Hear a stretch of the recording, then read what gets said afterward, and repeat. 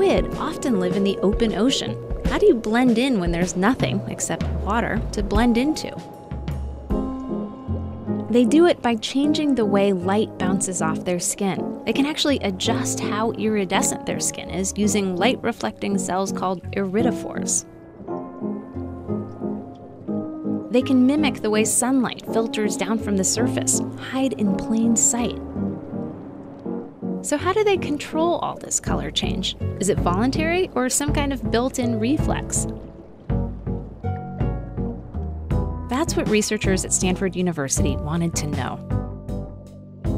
So they anesthetized the squid and then snipped the nerve from the brain that controls the chromatophores, but only on one side of the animal. The brain essentially couldn't send messages to the tiny muscles that control those chromatophores anymore, almost like turning off a light switch. But after a few days, they noticed something strange. The chromatophores began blinking again, even though they were no longer getting signals from the brain. So, what does this mean?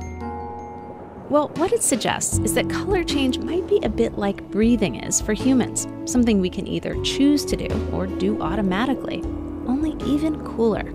Because unlike breathing, color change requires an awareness of your surroundings. And in these animals, that awareness is spread throughout the skin, as if the skin itself could see.